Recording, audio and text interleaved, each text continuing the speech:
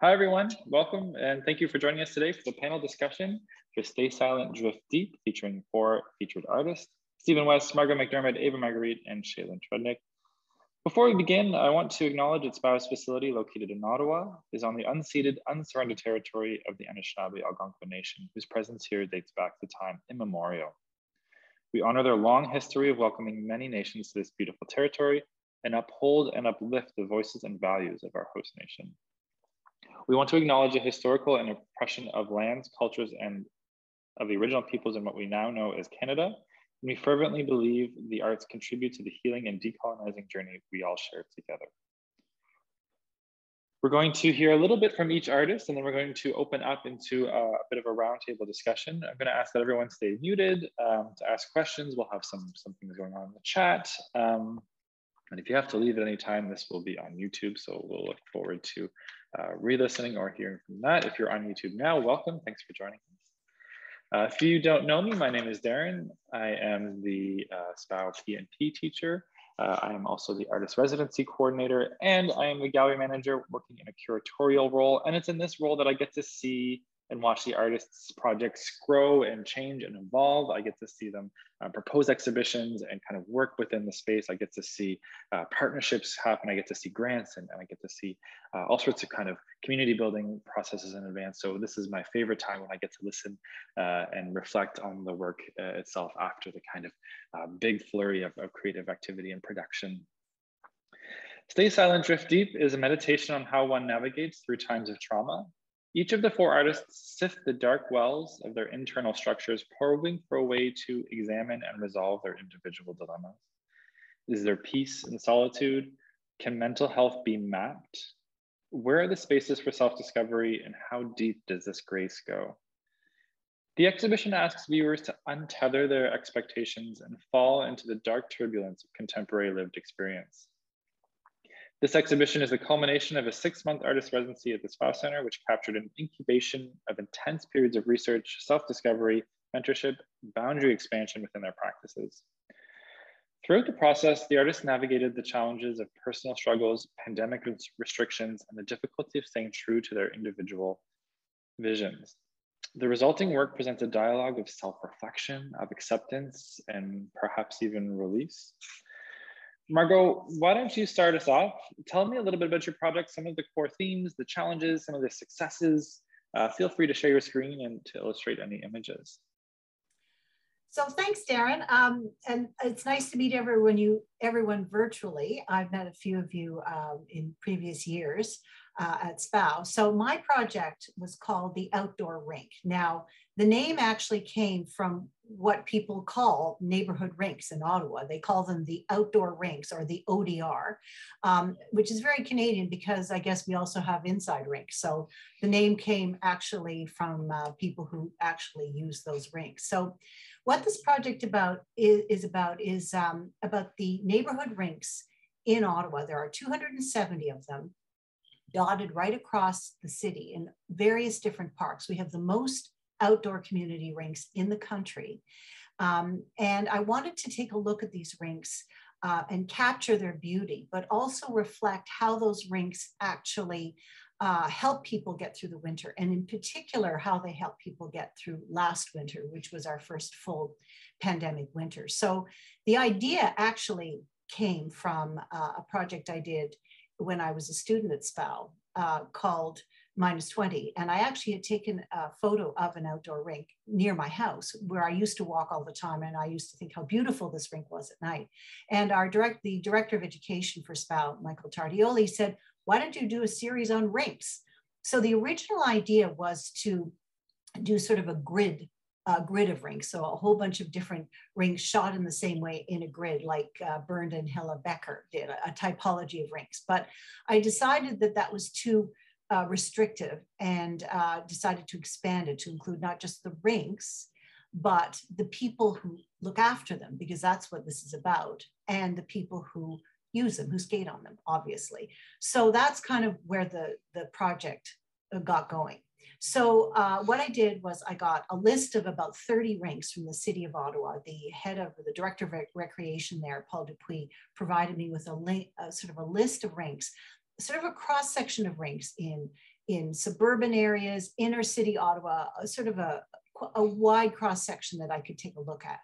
And in the fall of last, of um, I guess it was, yes, it was last year, um, I visited all 30 rinks uh, over a period of a couple of weeks and took notes of each one and looked at is this going to be realistic? Is this going to be a nice rink to shoot? Which is surprising because some look nice in the fall, but don't look so great in the winter and the other way around.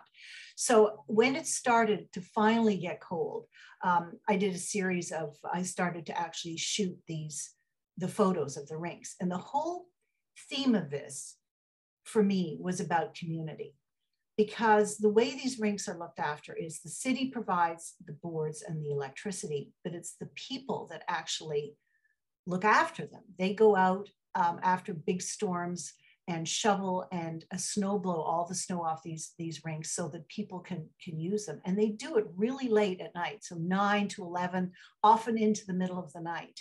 Um, some people actually get up at 5.30 in the morning, believe it or not, and, and actually flood and look after rinks that way. So uh, I wanted to capture the work that these people actually do. Um, and it's a unique system in, in Canada, actually. Uh, rinks are maintained in other ways across the country, but Ottawa has a really, a really good system that actually works pretty well. So what I did was um, I sort of went out to each rink um, and took photos at night. Um, and I wanted to take it at night because the rinks are, I think, most atmospheric and beautiful at night. There were these sort of these warm pools of, of light surrounded by darkness. Um, and that took quite a while. Um, it, often I had to visit rinks uh, three or four times to get the shots I needed as a, and take the original sort of test shots. Um, and then I went back and took photos of people cleaning the rink. So I'd have to wait for a big storm, um, which I'll get to in a minute. Um, and then I went back again and took photos of people actually using the rinks. And so I did, I had to sort of walk this fine line between sort of uh, Norman Rockwell, all happy photos, which, you know, doesn't work for SPAO. Um, and also sort of, sort of a more critical look, a, a, more critical approach photographically of what these rinks look like, their structure, um, and the dynamic in the rinks. So it was, it was some photos got tossed out because they were too cheery. Um, some photos got tossed out because they were too, um, they just didn't evoke the feeling from the rink. So that was quite a process. Um, so the whole thing was a, a long, it was much longer and much harder than I expected it to be, which leads me to some of the, the challenges of shooting at night in the winter, in the dark. Uh, and Darren, I know you asked me to talk about some of the challenges. So the biggest challenge, it wasn't actually the cold.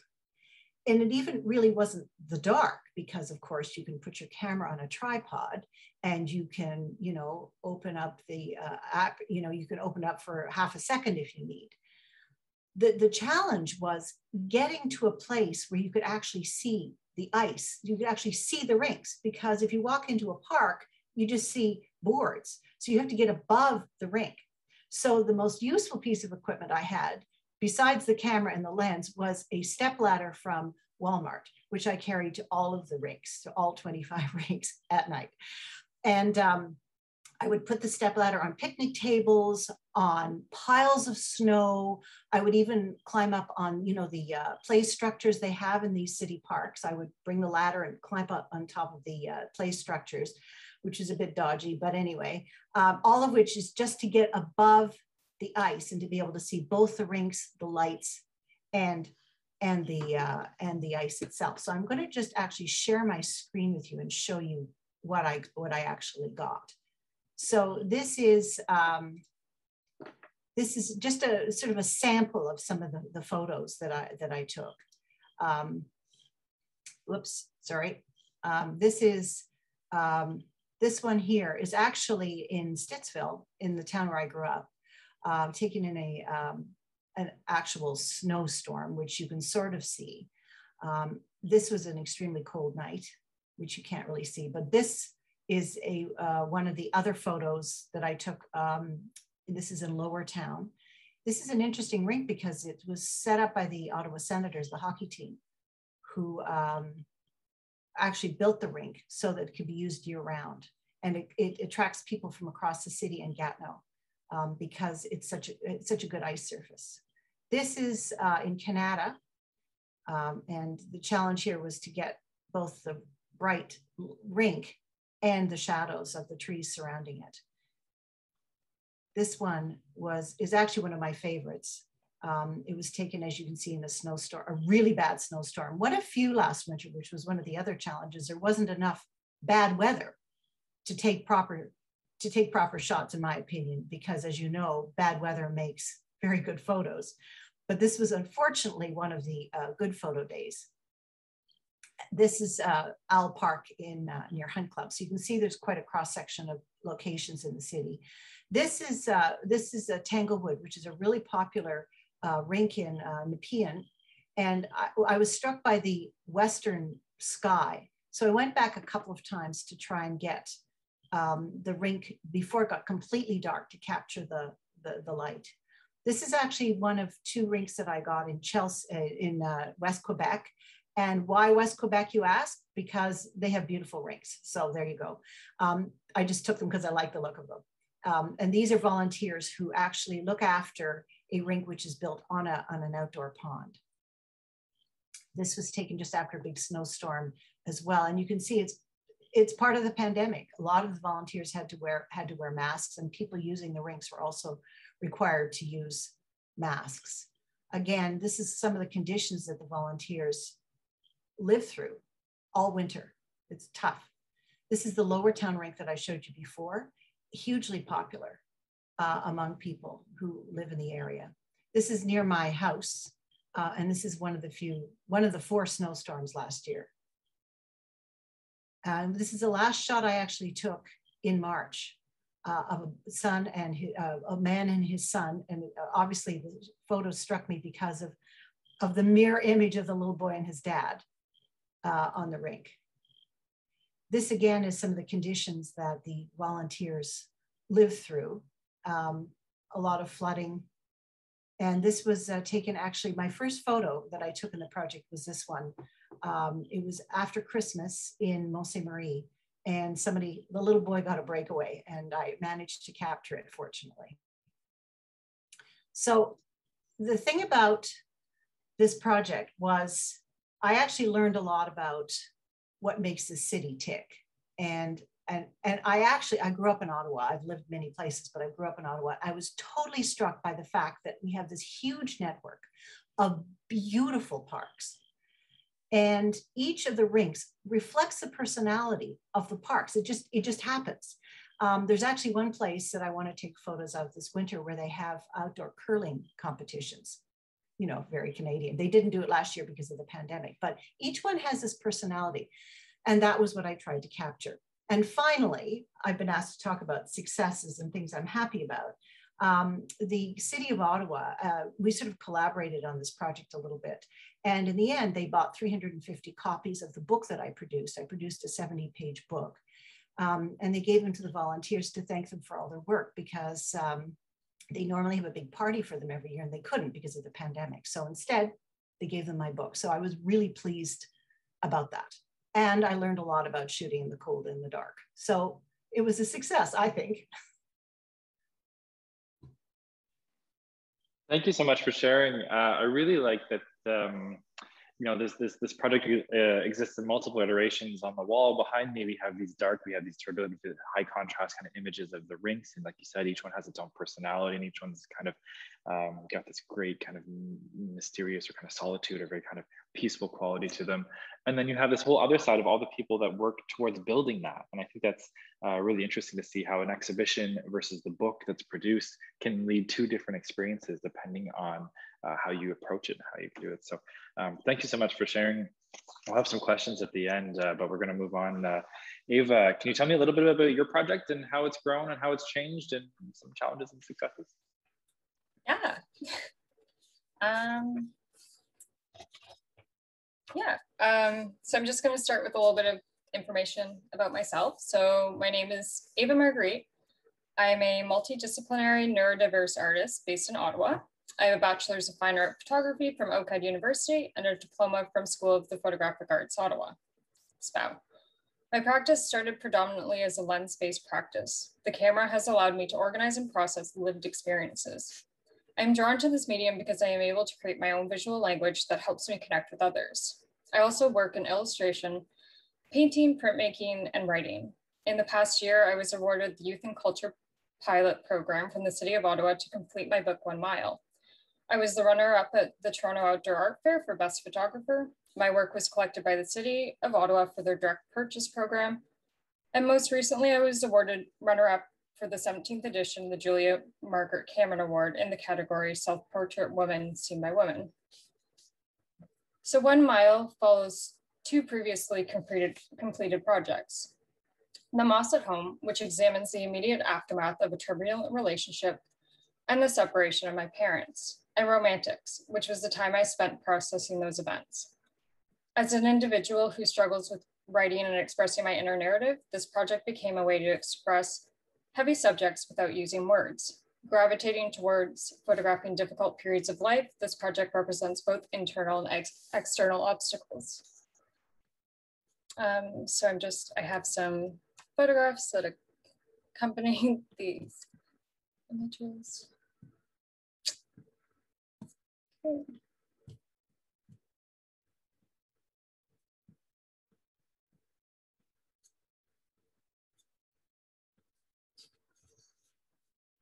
Uh, six months ago, I thought One Mile was purely about my relationship with my hometown, my family, and how the issues of control played out in those relationships. While those themes are still relevant, they become much more specific and intricate, like a spider web.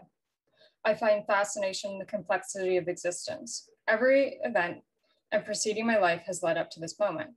At the core of my series is my relationship with my sister, her bond with our dad, and how that differed from mine. Being neurodiverse is a driving force behind my practice. I struggle with reading and writing, however, excel at visual learning and use that as a tool to process and understand.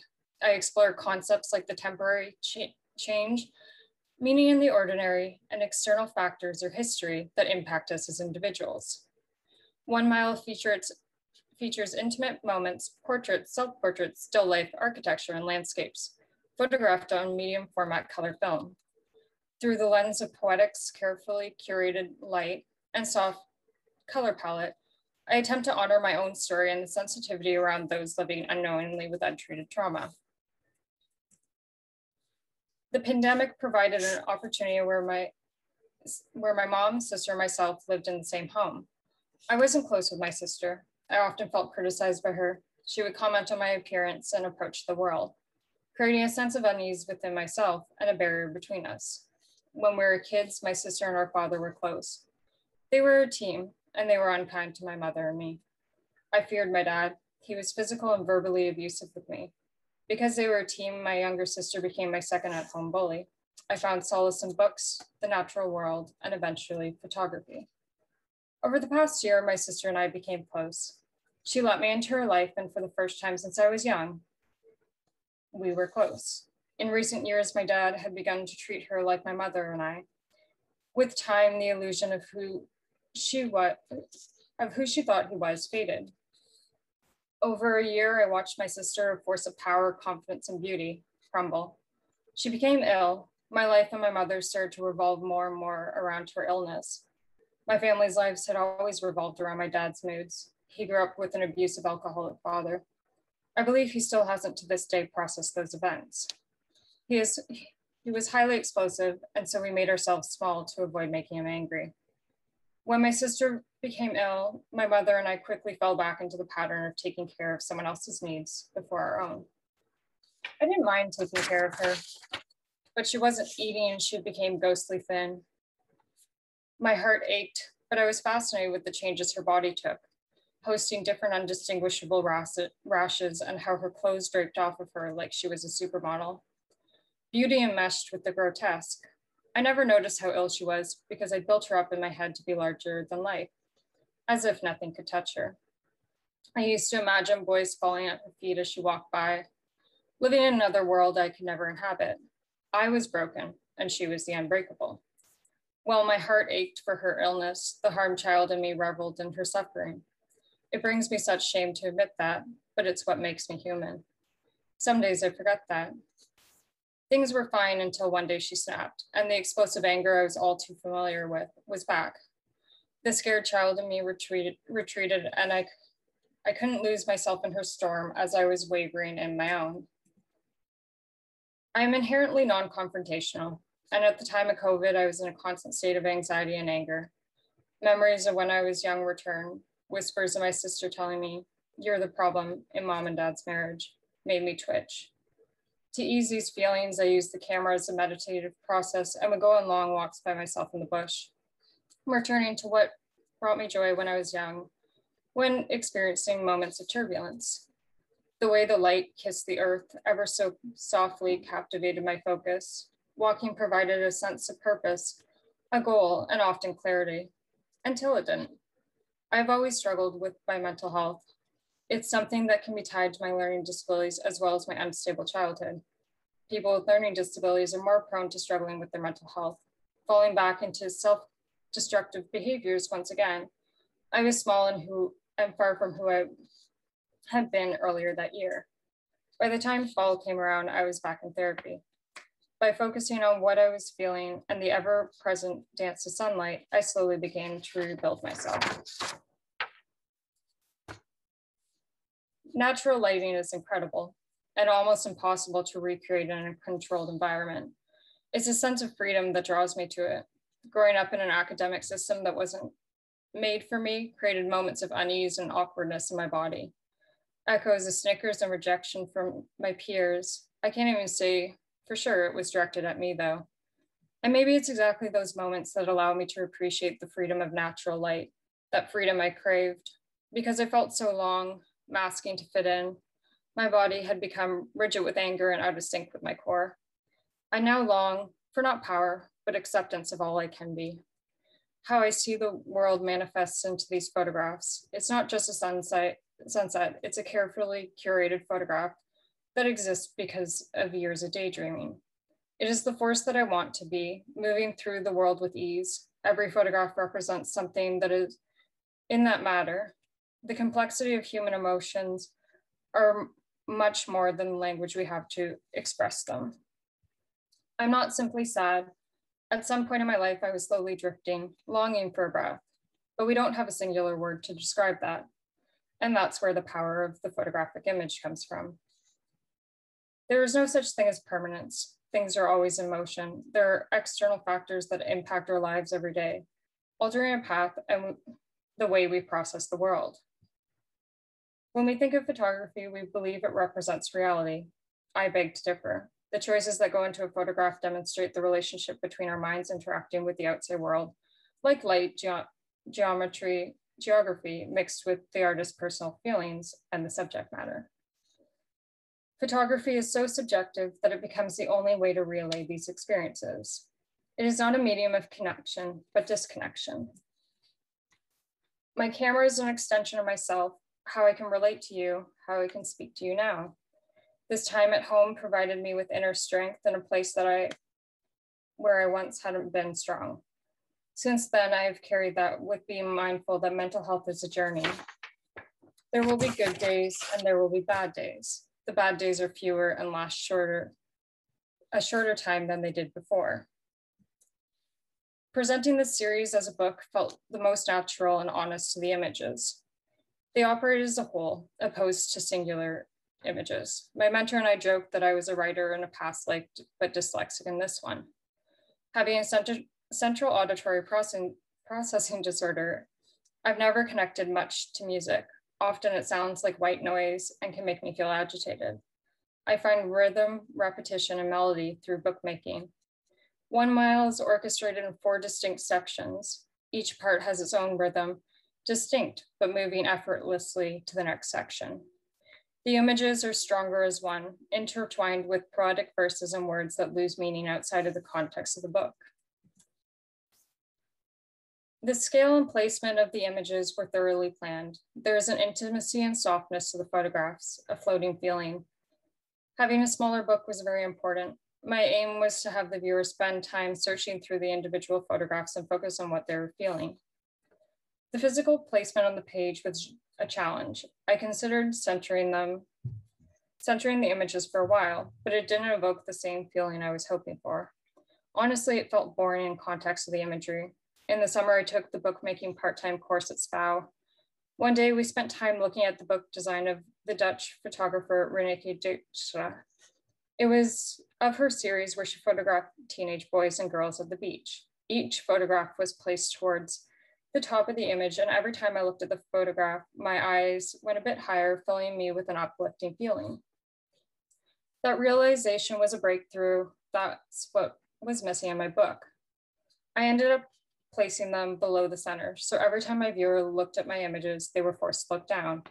It creates this depressant sensation. People can interpret your work as they wish, but forcing the viewer to interact with your work in subtle physical ways was vital to my work. The year I spent to make my work felt heavy, and I wanted that same experience to happen every time someone interacted with my book. The most difficult part of the book was the design of the cover. I went through some awful design. For a while, I wanted a photograph in the beginning. Picking one that accurately represented my book was impossible. One thing didn't represent one mile, however, a series of things, like maps or clues that were part of something bigger. Repetitions and clusters of small things fascinate me.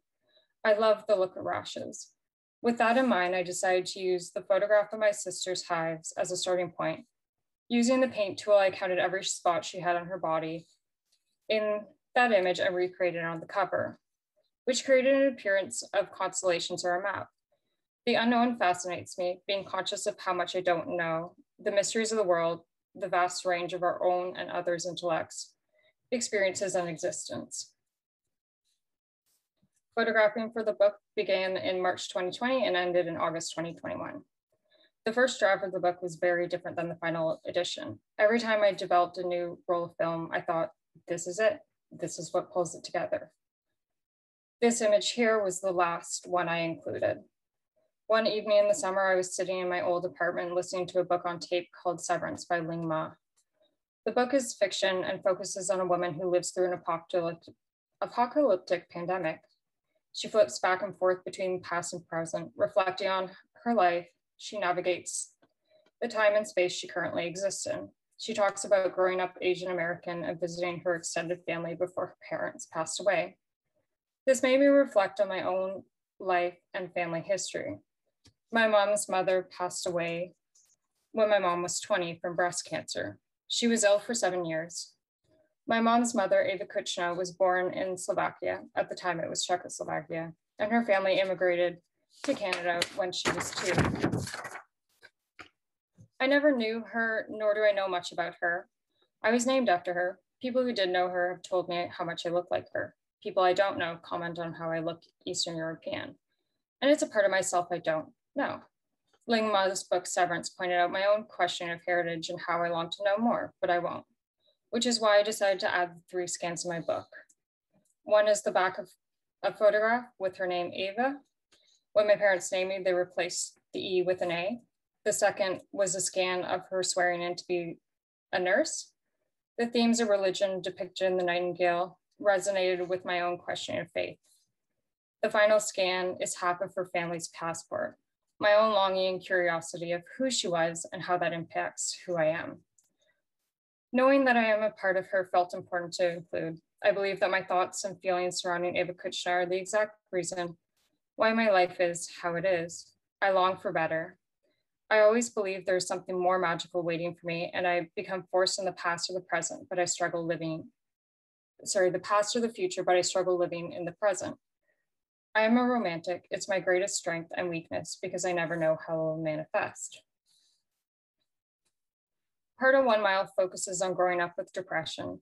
For so long, I felt as if I was underwater. As I present this, it's the first time in my life that I felt like I am catching a breath. When I was young, I would dive off or dock straight down. The bottom of the lake sat 13 feet below the surface of the water. I've always loved the feeling of diving into the water, it's transformative and there exists a world on the other side that we can't quite grasp. There's a lingering feeling that I've always that I've always had before submerging myself in the water, knowing that momentarily things will be different until returning to the surface. Swimming down, my lungs slowly tense up and steadily I push and pull myself to reach the bottom. The bottom of the lake is murky. When my hand makes contact with the sand, a small amount of light catches the microscopic particles as they swirl around my arm. Surrounded by darkness, this moment of serenity is my most prominent memory. Returning to the surface takes patience. My heart beats fast, aching for oxygen, pulling myself towards the shining sun above the water's surface. Thank you.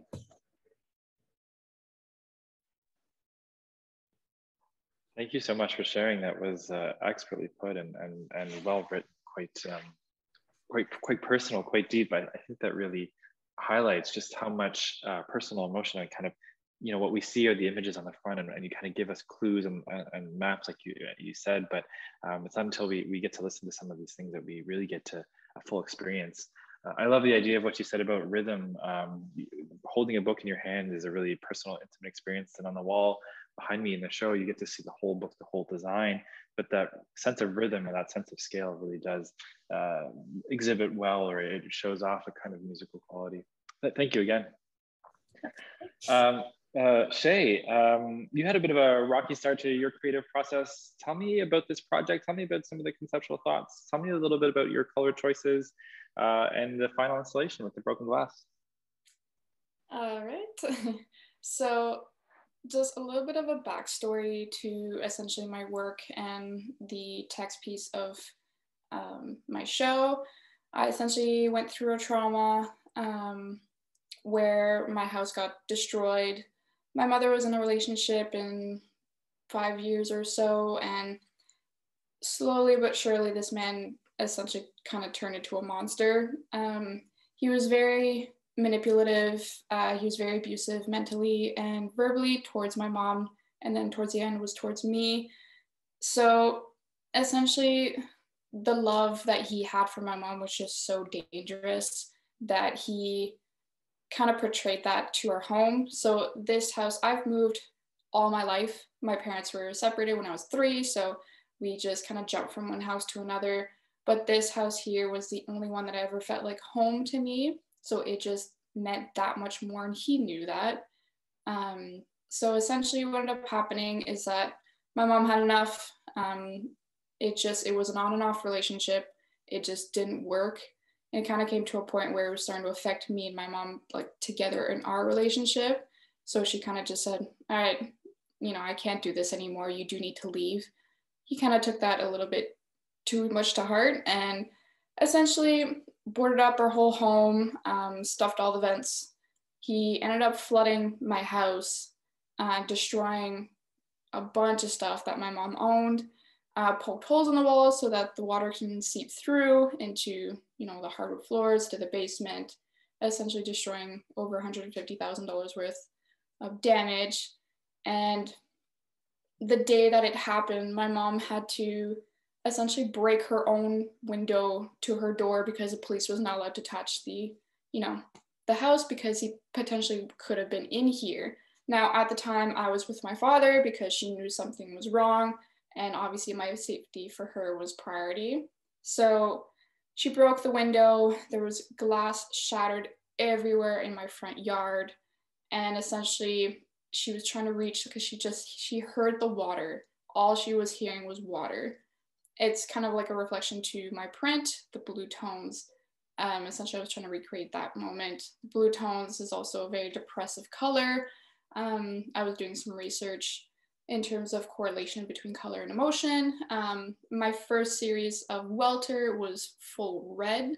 Um, this essentially was a representation of what he was doing to my mom and I. It was a lot of anger, it was a lot of manipulation. It was just such a very powerful thing that we can control. Um, so that series kind of started when he was going downhill. I didn't know at the time that it was doing that, but after this whole thing happened, I just kind of put the two together and I said, okay, this this was my trauma journey. So going back to that day, Uh, police ended up finding him in the house. Uh, he did hang a noose in my staircase. He didn't do it at the time. Um, but essentially, when I came home to my mom because I knew something was wrong, my dad was trying not to tell me. Um, I just had to see her. I've had such a close relationship with her within the past couple of years just because of things on my dad's side. So her safety and her happiness to me is so important. So the day that I went to go see her, um, she was trying to hide, you know, all the damages from me and the news from me just because she knew what could be coming in terms of my emotion and, you know, my anxiety, my everything. So I did see it. I saw everything. and this became the start of essentially like my whole journey of panic attacks, of anxiety, of seeing him as a person, even though he's not physically here anymore, I do see his presence around me, which is not something you want to live through. so during that whole year, I had to go through so much therapy, um, sleepless nights. I had so much insomnia. It just affected me so badly. And my mom and I had to essentially separate ourselves from a bit um, to deal with our own trauma. To her, it was the guilt.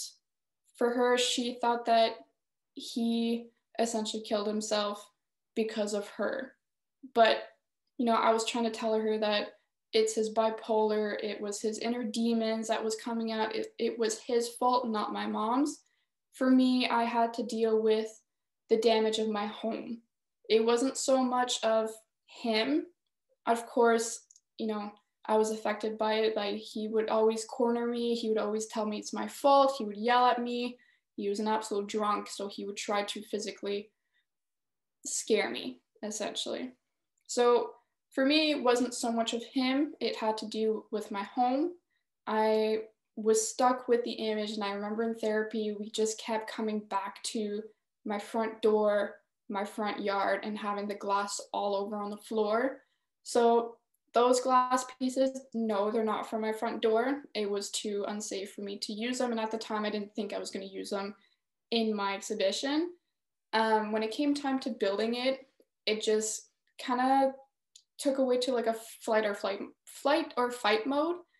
You know, a lot of people, when they have trauma and turmoil, they tend to either store it away for 10 plus years and then they decide to come back, or they use it and they just go with it. As I was telling, uh, I believe it was Ottawa Current, I just kind of said sorry for my language, but I said fuck it, and I just jumped right in it.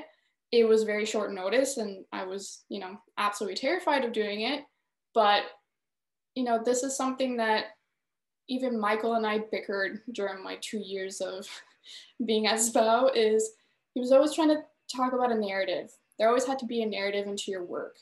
And you know, we kept fighting and he kept saying like, you know, why don't you just go to um, funeral homes and grab flowers from the dead and scan them? I said, what does that have to do with me?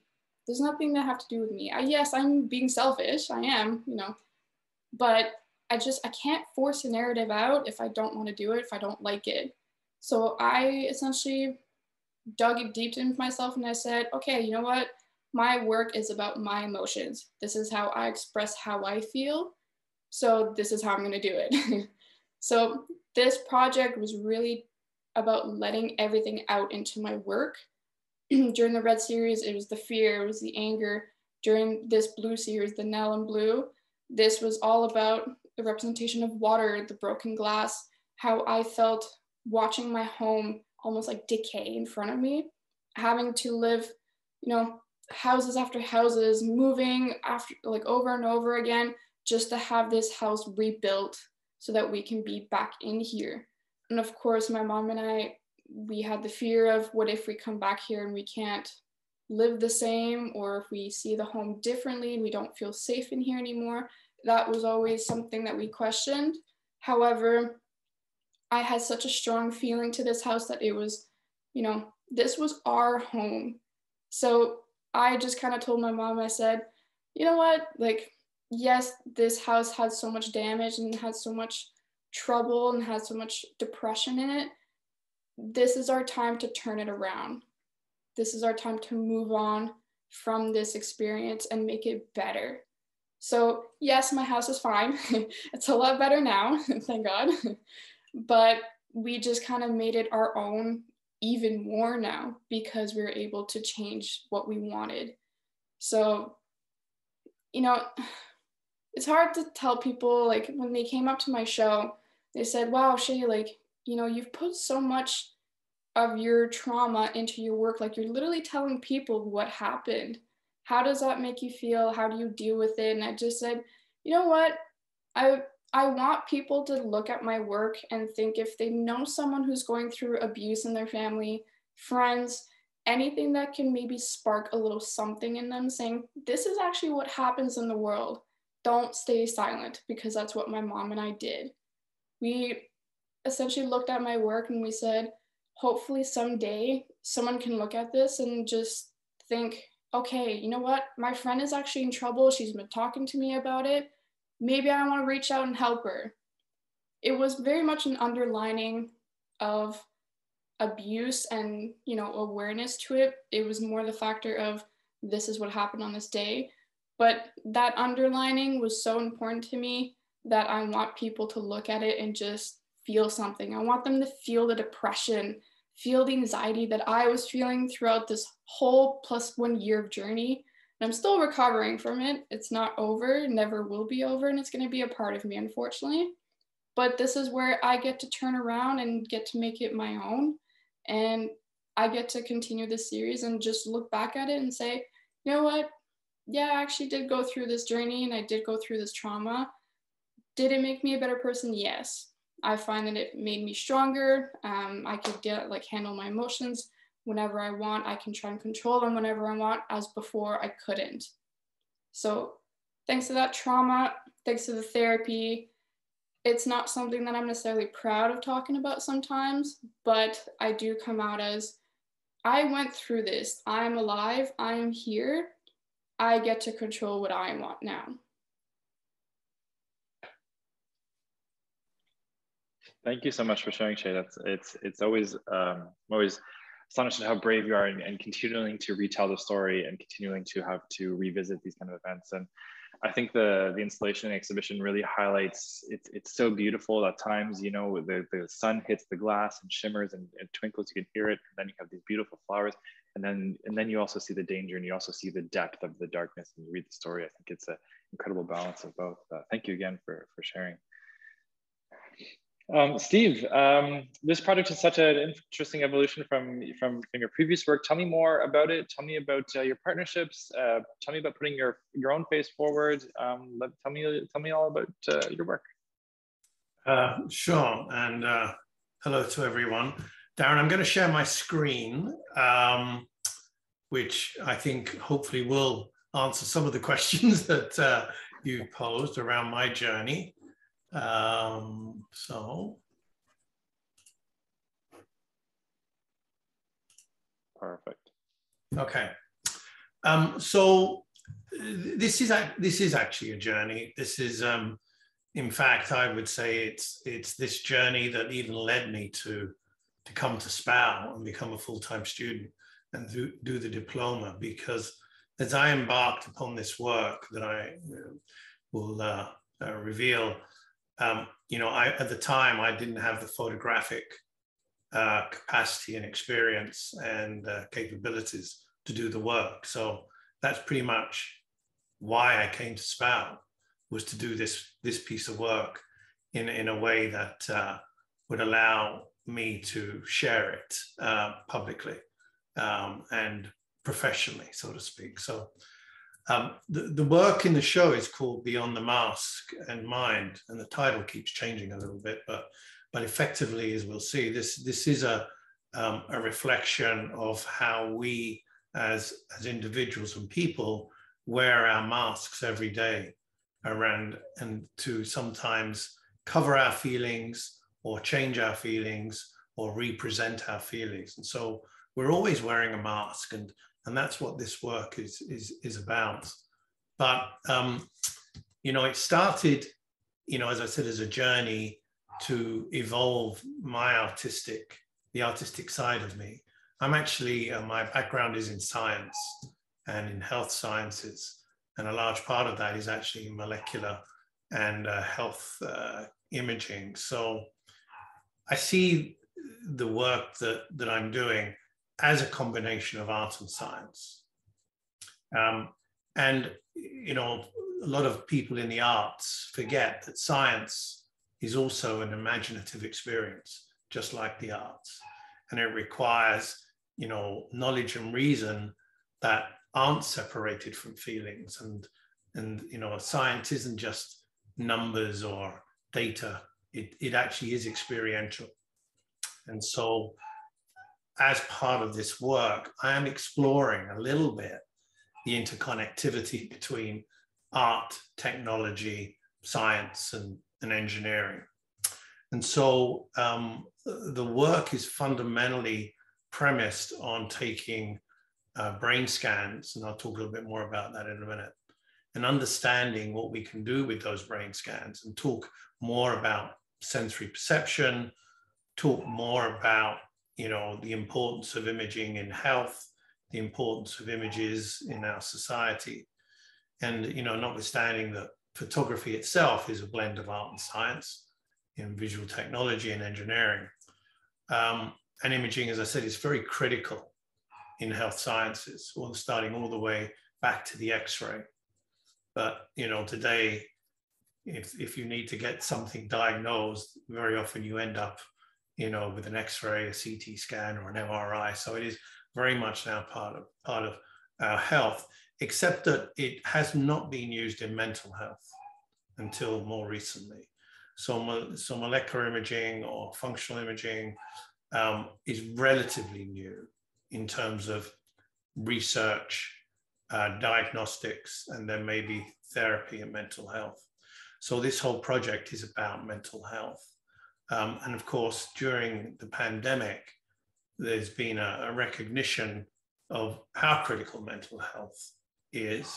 And in fact, um, people forget that mental health and physical health are completely intertwined. They're not separate. And people talk about them separately. So part of my work is to try and create conversations, discussions, reduce the the role of stigma around mental health because mental health obviously affects how we act, how we feel, how we relate to our environment, to other people, how we make choices. And, and unfortunately, in mental health, one of the biggest barriers to progress is stigma. And, you know, prejudgment or being judgmental. And stigma is a huge issue around awareness and recovery in dealing with mental health issues. So, so the work really is centered around that. Um, and it is a reflection on mental health.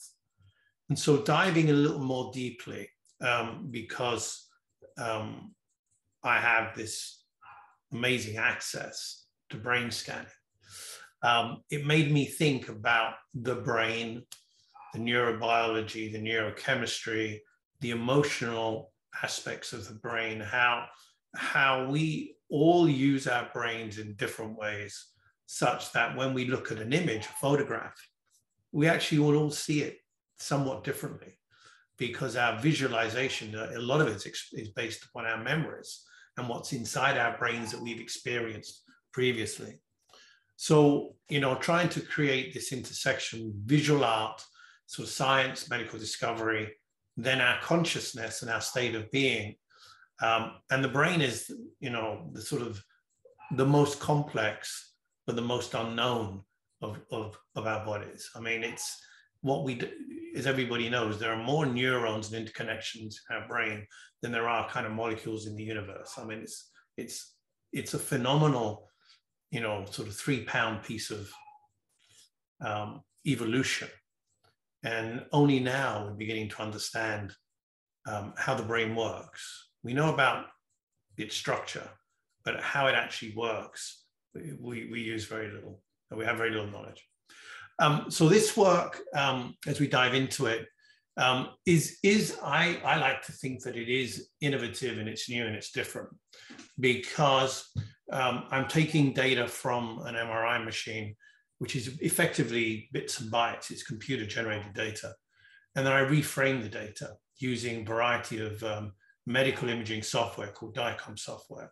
And then I combine um, what Tardioli taught me uh, about Photoshop, plus all the YouTubes on Photoshop, blah, blah, blah, to then create, you know, some, some unique imagery. And, and as you do this, then, you know, I'm thinking about my own emotional fragility and my expressions, my dreams, and who, you know, what is my inner self and um, how, how do I represent myself and how do I think about myself? So, so this has certainly challenged me in terms of my own persona. Um, and um, just to say that this work, because of its mental health, you know, um, uh, connections, will be permanently displayed at the Royal Hospital here in Ottawa and is being used by the Royal in its sort of advocacy. So a little bit of a dive into how we get there. So on the right, uh, I think it's on the right on my screen, is the actual machine itself. And it's not a standard MRI machine. It's the only machine in Canada that's used for mental health research here in Ottawa. And it's called a PET fMRI machine. And on the left, these are the images that you actually get from the scan. So these would be the medical images that will be used for research or diagnostics or understanding um, about the brain. Um, they look like kind of x-rays and, and that's what I, the data that I get represents that. So that's what I start with. Um, but I was able to say use the software and um, the machine is at the Royal, the Institute of Mental Health Research. And as we always talk about things in photography, access, I have access to the machine. And even, and so you'll see now um, my brain scans, and they are my brains that you'll be seeing. But the first part of this story was about creating a book that was about stigma and substance use disorder. Um, the book was called Beautiful, whoops, the book was called Beautiful Minds. And these are some of the images from the book. The book contained portraits of people with lived experience and their stories. And there was a little bit of kind of factoids in there about neurobiology. Um, and these are two examples of the work from the book that were on public display at Lansdowne this summer. Um, you know, they're kind of Andy Warholish, pop artish, um, but these are brains. And so these are brain images, not my brain actually. Um, they were a subject in a clinical trial, but these images were created using the various software and uh, photographic techniques. So the new work that's on display is much more personalized. Oops. Um, and, and so the images that follow this um, in the show are of my brain. And I wanted to capture my feelings. And then some of the images actually are images around different thought processes while in the machine. And so this is all about understanding our memory, our consciousness, and, and the way that we see the world and the way the world sees us. So this is a self-portrait. Um, it looks a bit scary. I don't think any of my pieces of work are the sort of things that you want to put on your mantelpiece above the fire. Um, they're quite challenging. Um, it look, this may look like I've got some sort of Ebola type disease, but actually what this particular image is, um, is a composite of, of my self-portrait with something called a Rorschach, which is a psychological test, a behavioral test and it's basically the ink blot test. Some people may have heard of that. So that, that is actually the ink blot sort of crammed together. I actually used inkjet ink. I created an inkjet, created it, and, and then and then put it behind because that's how we feel. We we don't have a consistent feel. There's all kinds of stuff going on in our minds at any one period of time. So that's kind of what I wanted to express uh, with this image. And then this image, um, again is a self-portrait, but it's 360 degrees. And when the machine takes your, your brain scans and it can scan you in different planes, it can scan you kind of this way, this way, or that way. It takes slices. So here there are 34 slices. The machine takes 34 to 256 slices to create the photographs that you saw earlier. And the data at the top of the bottom and behind the image actually is my brain data. So this is actually the um, the data that is embedded in the machine, and then the software creates the photograph from that data. So that that's kind of, and so it's a, uh, literally a slice of my portrait, very similar to what the machine uh, does. This is where we get to the mask and it gets a little Halloweenish, I, I know. And this is interesting because if you look at this image, you'll see that if this, these are a series of slices from the front all the way through to the back. Um, and, you know, this, this, this image I've created with the software because it truly is an Aztec kind of mask that, you know, we wear our masks. And this is the definition of the kind of mask that I was wearing when my brain was being scanned. The next image, um, you know, is, you know, it's a bit like Han Solo and Star Wars, you know, Jabba the Hutt encapsulating him in ice a little bit. This is a death mask. And this is an image that I kind of came across using the software that I had never seen before. And if you are in the studio and look at the image, um, you'll see that um, the image actually looks a, maybe a bit like a painting because it's been lacquered. So I printed the image and then I hand lacquered the image. It has many, many coats of lacquer on it to give it a texture. And I and anybody can go up and they can touch the image and you know it's it's um it's it's fully lacquered. And so the expression here, I think, is one of tranquility. And again, you know, our mask and tranquility, but getting behind the skin. This is very sort of looks, the skin here is in the nose in particular have been deconstructed. So another mask in our imagery. This one here is, is a little different. It's a little more psychedelic. Um, but again, it's a representation of actually the emotions in the brain because the color part of this is actually tracking the brain activity. And then the, the actual, and then, and that is my brain um, that I was able to re um, uh, compose from the data that I had. So my brain looks like that. Um, and then it's superimposed on top of the activity of the brain. And then finally, um, again, I kind of came across a methodology to create movement in the imagery. So um, the original image here would have been black and white. It would have been a series of slices from the top of the head. So that's sort of in this, this plane. And I was able to create this sort of warp, warp speed kind of imagery because our brains are thinking at warp speed all the time. And, uh, and the amount of movement of water and neurotransmitters in the brain is so fast and we don't understand it. So this image to me kind of captured the fact that um, we may look static and we may be wearing a static mask, but boy, going on behind that mask, there's, there's billions and billions of, of neurons uh, firing in different directions. So anyway, thank you for, for the opportunity to present the work. Um, you can look at my website. It is available on the Royals uh, website pages and, uh, and so forth. Thank you. I will stop sharing.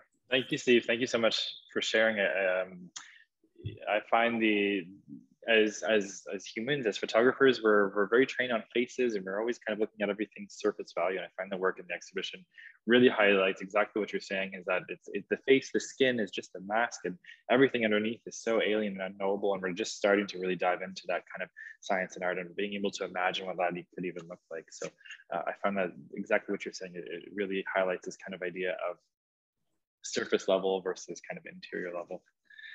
Um, I want to open up. I've got a couple questions uh, for the panel, and then we had got some questions coming in from uh, the audience as well that I'll get to in a little bit. Uh, any, just for everybody there, if you want to add some questions to the chat, I'll, I'll read them out as we go.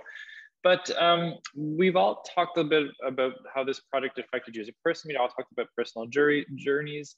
Has this exhibition allowed a kind of finality or allowed a kind of maybe release or, or personal discovery in some way? Does the act of hanging it on the wall or the act of installing or the act of talking about it in an artistic context allow to kind of um, kind of milestone marker in your journey.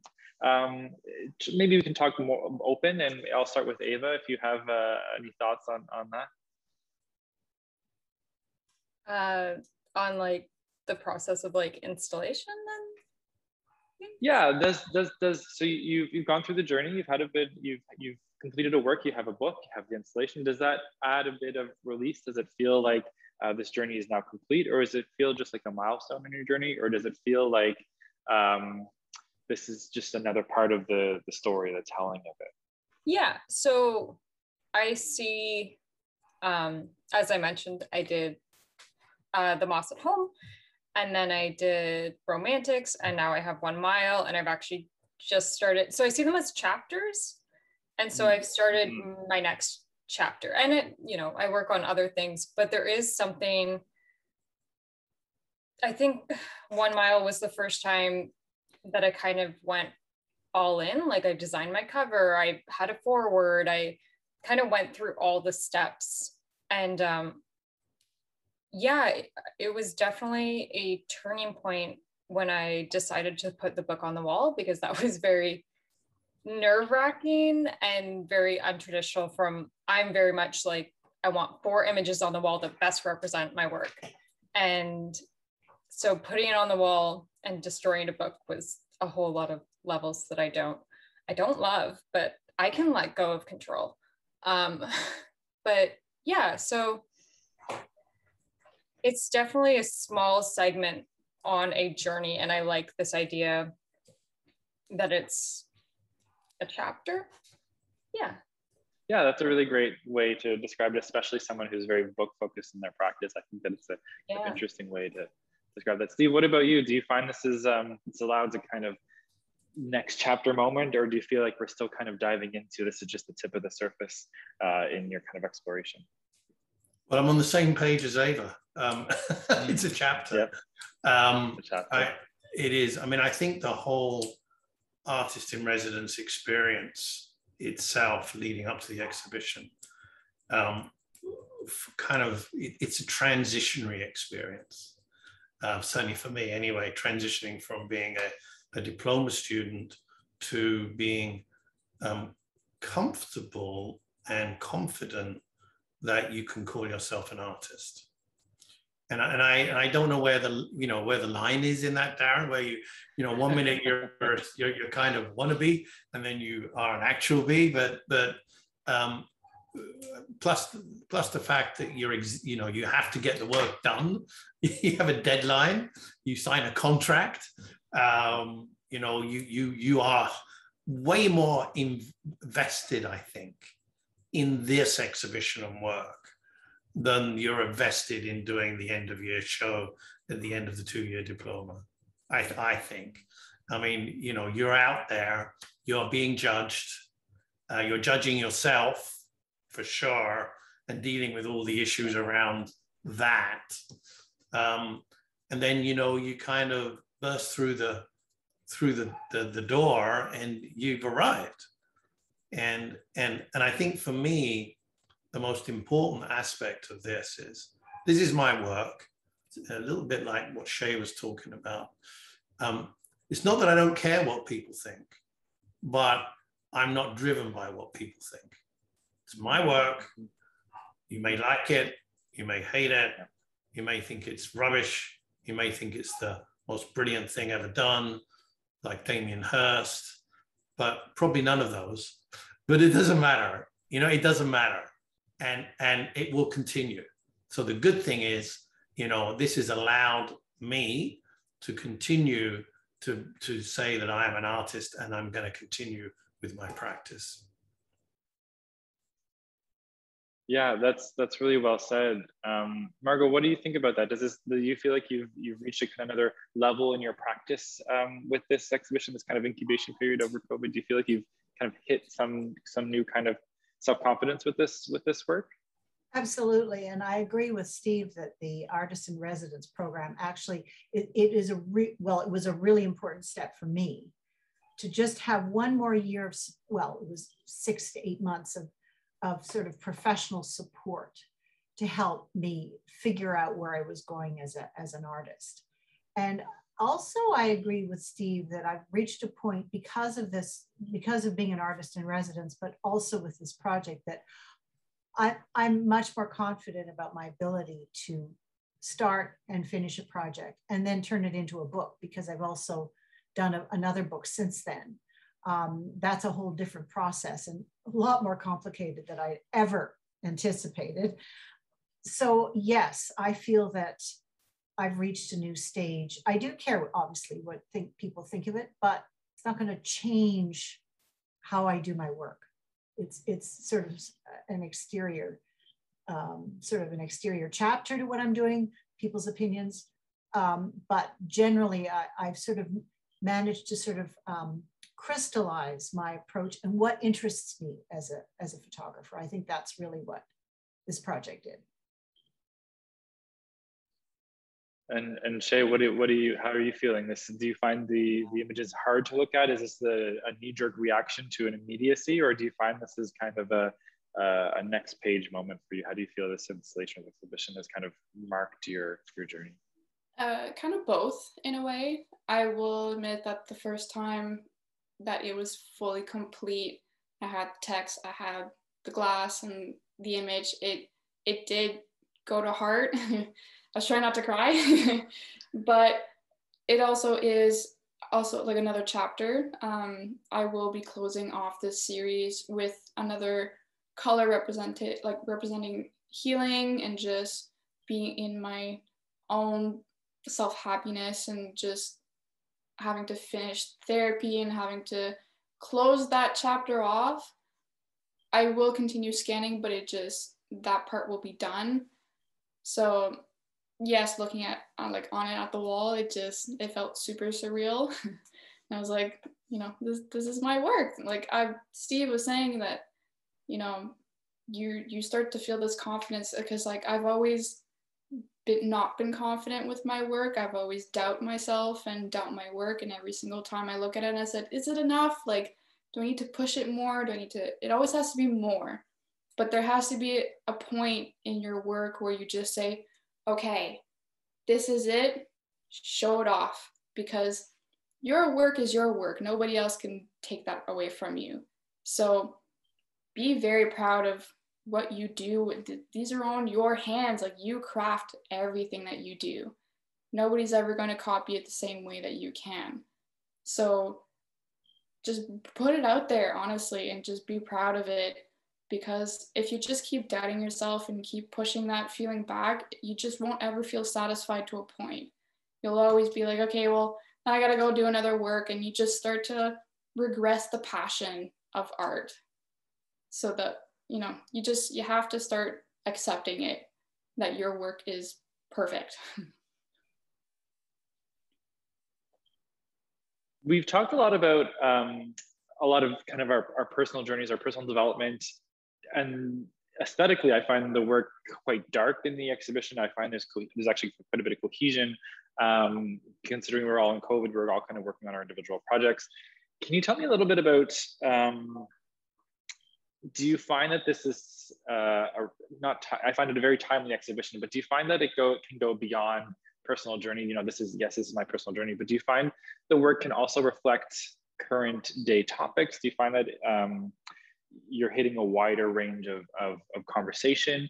Are you hearing other artists talk about this kind of thing? I guess I'm curious to know if you see your work in this show or what you're working on now uh, in line with kind of wider reaching topics that are really relevant today. Um, Steve, maybe I'll start with you. Sure, um, and I think uh, for me, absolutely. Um, the whole ethos concept behind the work was to create uh, a series of conversations um, the book was about stigma, substance use disorders. Um, my work, you know, um, this particular work, I do other stuff too, by the way, It's not as dark. Um, but, um, this particular work is designed to open up the conversations around mental health, stigma, and the importance of research and science in, in understanding and dealing with mental health. So, so for me, it, it, it has to create an audience and discussion and, and that's really what my goal is in this work. Margo, why don't you uh, kind of follow on that? You know, when I think about COVID, I think about how I've kind of um, relegated myself to my specifically local community. And I, and I wonder if your work talks a little bit about how some of these kind of, um, your project kind of talks a little bit about, about the conversation of, of the importance of our, our neighborhoods. That makes sense. Well, I think that's what it's it's really about is is and neighborhood being in in this particular project sort of a very small microcosm. It's the size of the rink and the, pro, the you know the park around and how people relate to it. But the images also, when I was shooting this the project, I told people obviously what I was doing, and they would they would say almost without exception how important it was that they had this place to go.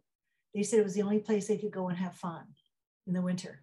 So those rinks were not just a place where people skate and you know play hockey um, they were a place where they could escape from the confines of, of COVID, even though there were restrictions on the number of people on the rinks. And for a long time, they couldn't play hockey, although people did, I have to be honest. Um, it was really, they represented sort of the, not only a little, you know, like this little warm circle of light in the at night, it also represented an escape from what people were living in their homes. And so I, I found that when I had people say that to me, I felt it was really important uh, to show these these places because it had a, a, a, wider appeal. It had a wider meaning for people in the community. So yeah, it was. Uh, and you know, I, I, another thing I wanted to say very briefly is that uh, people came to when people came to the show at SPAO and looked at the rinks. I found people getting very emotional about them, and I was surprised by that. Maybe I'm tired of looking at them. I don't know, but um, no. But especially men, men would get very emotional. I think it reminded them of their childhood, of things they did when they were younger, uh, maybe of happier times. So I thought that was kind of that was a big surprise for me. Yeah, I know. I know some of my favorite memories are the 6 a.m. kind of rink smell. There's like a icy, concretey smell that is ingrained. So I can, I can definitely see how that could come out when you look at the work. Um, Shay, same, same question. Um, we've talked a lot about personal journeys and, you kind of brought it up a little bit when you're talking about how, how do you hope this kind of reflects or how, how do you hope people can kind of take on, uh, see your work and kind of take on some wider topics and wider themes? Uh, yeah, absolutely. Like technically, like I was saying when I was talking, I had an underlining uh, subject of abuse and awareness. Like technically, I wanted the forefront to be about my um, trauma. That really was the show to let me just release it to the world. But I could change the project a little bit, change the wording, and make it go to more uh, abuse. Uh, I could definitely reach out to you know um, people who had abuse or are dealing with it right now. That you can always change the project a little bit how you want it to be. Um, so yeah, absolutely. I think that it could be a definitely wider range of audience that could be reached out to. Um, it just depends on if I want to do it or not, if I'm ready to do it.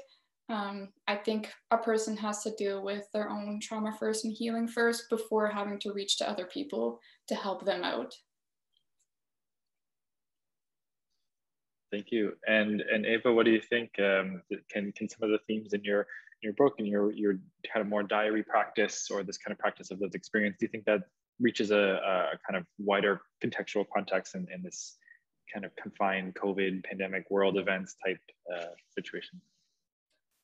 Yeah. So a very selfish thing is that I loved COVID because growing up with depression, everyone started to experience those same feelings. Um, and I think because my goal in my work is to create imagery that evokes a feeling, um, very I'm very aware of lighting and shadows, and they're very um, yeah, a lot of feeling oriented work. And I do think that uh, people connect with that and whether they know why they do or don't.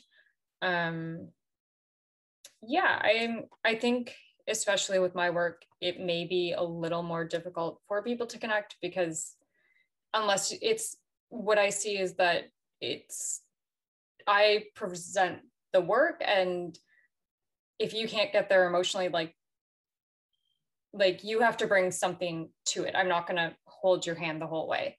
Um yeah yeah. I think it's i think um, yeah part of my mandate and work is um it's it's a give and take. Like it's not all the way there and you also have to be willing to dig within yourself to yeah feel what you're feeling. And a lot of people want to know what it's about but that's i don't think what art is about. Perfect thank you um, we've got some questions from the audience that I uh, would like to to ask you. Um, there's some individual ones. So uh, Ava, it's uh, it sounded like uh, your book started kind of your final year, or once you finished, uh, once once you graduated.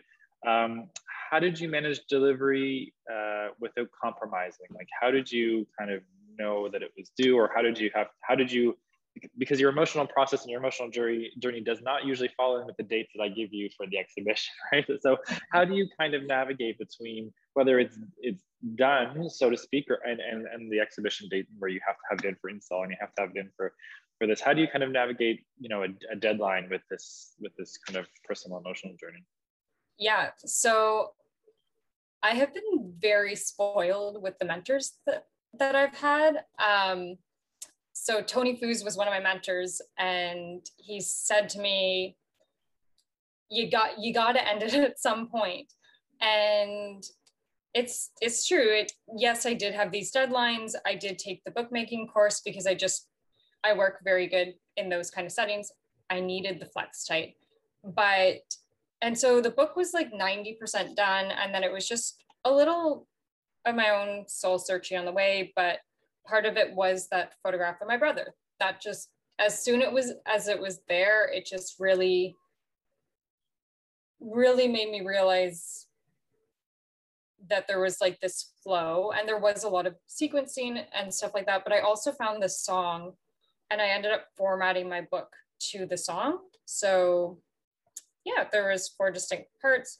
And you do have to give yourself these deadlines. But I also like I have some projects that I've worked five years on. I have some projects that, and the next project that I've started, my deadline is kind of around two years. So enough time to kind of go through some stuff. And yeah, it's, but it, the writing and the, the work, it took a long time and I'm still discovering what it's about. And another uh, friend of mine, Bill Staubi, had said to me once, um, sometimes you don't know what your work is about till years later. And I think that's really, really important to think about. Um, and I just think that if we don't, the world expects a lot of deadlines. And at some point, yes, something has to end.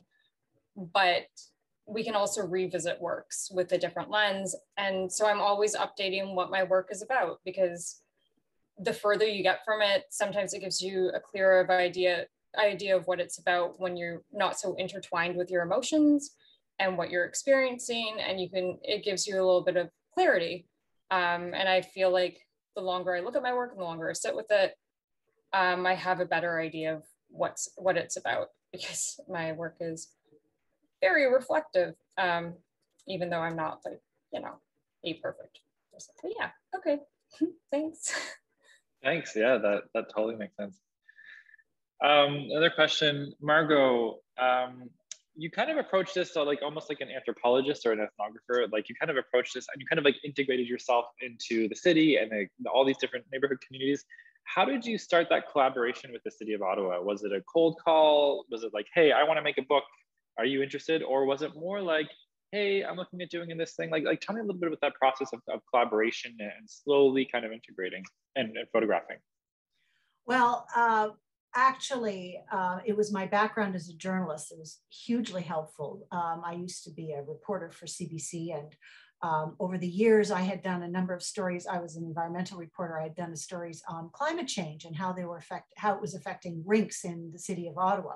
And I actually met the guy who was in charge of rinks in the city, say different person from the one I dealt with, but I knew that there was a Mr. Rink at the city that I could call. So I phoned the new Mr. Rink, Paul Dupuis, and um, and I knew that they would have a list of all the all the uh, the rinks. In fact, there is a list online. Um, so that was extremely helpful. I sort of knew how to start uh, the project. It was a cold call, but uh, I'm used to cold calls. Didn't bother me, and it's sometimes it's the only way you can get anything started. Um, and from there, all he said was, "That's a really interesting project. You should stay in touch. We should stay in touch." And so it kind of evolved from there. Um, and as the project went on, I would talk to him, ask him questions, send him some of the photos. And, and then he said, you know, we'd be interested in buying your, your book. Um, so that's kind of where it went from there. And I'm lucky that, that the guy who was in charge of rinks in the city was so engaged in, in, in the project. But it was, it was really just picking up the phone, sending some emails. I actually did call some other groups in the city. One of them in particular was a Learn to Skate uh, program, which, oh, I think that would have been amazing visually. Um, a lot of the kids are new to Canada, and I thought that would be very interesting, but they didn't have it last year. It was, it was, they did, but it was really, really small, and they didn't want any extra people because of COVID. So that restricted um, my ability to shoot that. But uh, just one other thing, um, which is kind of a, uh, an example of how if you start something, it can lead to something else. I went to shoot a, um, a rink near Orleans in Eastvale. And uh, it's a small community, sort of just west of Orleans, an older community. And the rink didn't look very promising in the fall, but I had written a note saying might be better in the winter. So I went back and I went back a night that uh, somebody was cleaning the rink. Uh, late at night, it was a teacher from a nearby uh, middle school. And uh, she said, Oh, you should come back during the day. We have gym classes on the rink. And she said, here's my colleague. He'll just email him and let him know if ask him if he can come. And I did. And he, I went back three times just to take shots of the uh, gym classes. Again, most of the kids were new to Canada and were using um, chairs to help them skate. It was a wonderful thing. And it was simply a case of following through on a gut feeling that maybe something would work and following up on that initial kind of really a cold meeting in, in a rink. So you have to just keep at it and just follow your gut and you know follow up leads and uh, just talk to everyone you can. Yeah i think that's that's so relevant you know um, it's it's it's not about taking an image and then leaving. It's about taking an image and then following up. Here's what the image looks like. Hey and then and talking to that person and kind of keeping people invested. Um, a lot of people think that just like sending out an email blast means that you have a followership, uh, you know, um, but it, it is actually about kind of more communication than that. And I think, I think you do a really uh, good job. And I think that that shows when, when you have a citywide kind of like uh, interest in your, in your, in your work. Um, there's a question here for Shay. Um, do, do, do, do, where did it go? Can you talk about the transition um, from graduation to making this work? I think I think the idea is emotionally, but also maybe like as a um, younger person and someone who's displaced, how how hard is it to like get your studio going, deal with get some finances, and like how hard is that kind of transition from graduation to here we are now, uh, alongside the kind of emotional journey you've gone through?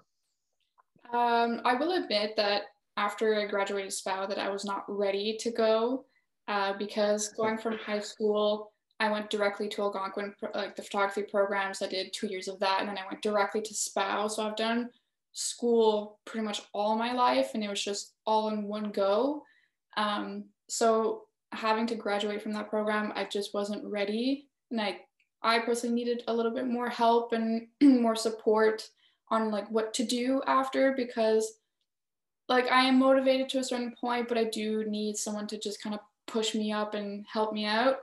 Um, so it was a little bit tough, not gonna lie. Um, I was working part time, uh, going to school. I will say at the start, when you're not financially stable, it will be tough to want to do your work because you kind of need money to come in. because like I've luckily um, Whitney Lewis Smith gave me most of her collection of her dried flowers. So that helped me out so, so much. So if you have the connections, use them. Uh, luckily, she was giving them away she was moving to Mexico. So it just kind of lined up perfectly with it. Um, I'm slowly starting to buy my own collection. Um, but work right now is a little bit more priority just because I need that money to come in, unfortunately. So it is a hard transition, not gonna lie.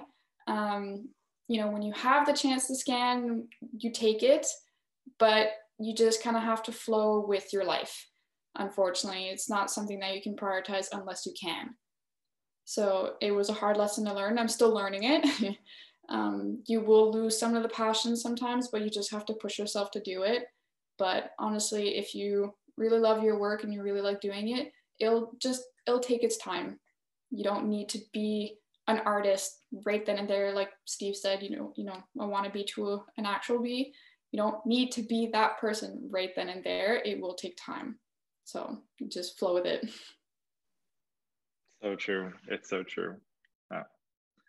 Um, this is the last question. This is uh, at Steve, but I'm going to open it up to everybody. Um, can you tell me a little bit about your installation choice and and and what you printed on and why you printed on it and um, or or or what have you? Can you tell me a little bit about uh, you know um, some of your decision making in in the installation printing and things?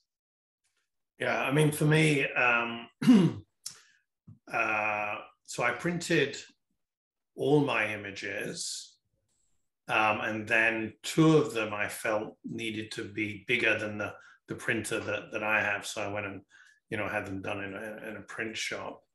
Um, the, the choice of the imagery was really try, to sort of try and represent the body of work. I mean, so, uh, you know, I had quite a few different images to choose.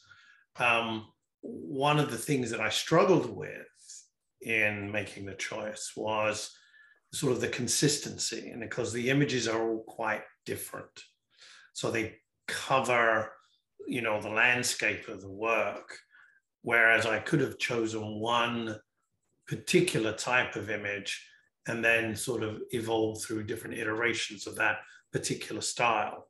So i, made I made a conscious choice to um, sort of show the different elements rather than focusing on one particular thematic um, and then um, some of the images, like the one behind me, um, and the ones that are upstairs in, in, in are printed on uh, metallic paper because that just gives it the pop. And so I discovered that at the um, end of year, uh, you know, diploma show, that printing on metallic gave it a certain visual feel. And then I, you know, made a conscious choice, as I mentioned earlier on, to take the um, one of the images and um, hand lacquer it to give it much more of a sort of a textual feel because it is a you know that image of the sort of you know the uh, where the nose is flaking away and so forth. I mean, there's a lot of texture in that, so that I think deserved being even more texturalized rather than printing it on canvas or something like that that looks fake. I actually have developed a technique for um, um, lacquering uh, the imagery uh, with Japanese lacquers, hand lacquered. And so that's how I kind of arrived at where we were. And then you, Darren, decided which ones to put in the uh, on the ground floor and which ones to put upstairs. yes, and and your work is different too because we've split it up almost. Uh, so when you brought your work in, uh, I there was quite a bit of curatorial decision. There's a lot of back and forth. I put them in every single um, place on the wall that I could. And I wanted to really match this idea of, of masks, A, present that idea first, uh, and then also this kind of um, alienation and this kind of thing. So um, the decision to put the three kind of more face or mask pieces on one wall and then the, the face that's kind of jumbled on another highlights this kind of duality or, or I felt like it highlighted this duality between kind of um, representation and, and kind of medical bits and bobs that kind of you have to deal with and kind of it comes in like you said it comes in slices uh, the other thing too is that it, it it paired so beautifully with Shay's glass and and floral imagery for some reason. It felt like fragmentation. It felt like a, a personality that's that's in split. And I find that the two works right. um, echo each other in really interesting ways. Uh, so that's that's how that kind of got split a, a, little bit. And then the two works upstairs um, that was yeah that was a, a bit of aesthetic kind of curatorial choice. Um, i wanted to open up um, uh, Margo did you have any thoughts on installation it, it, we had a, you were going to do a, a, big big big piece and, and now we have six did you want to talk a little bit about that Whoop. you're muted one second um, the book that I was uh, that I produced had three chapters. The first uh, 30 pages were um, images of the rings. So all of the portraits of the rings were at the beginning. And then there were two other chapters, one of the work that was done and of the people who used the rings. So I played around with the idea of having a, a mixture of people and rings together. But really in the end, uh, it was all, it was decided and I agreed with it that, that the best shots were of the rings and that having them as a just on their own would be the best way of showing and, and playing with the idea of, of loneliness and winter and isolation and community all in one on one spot in the wall.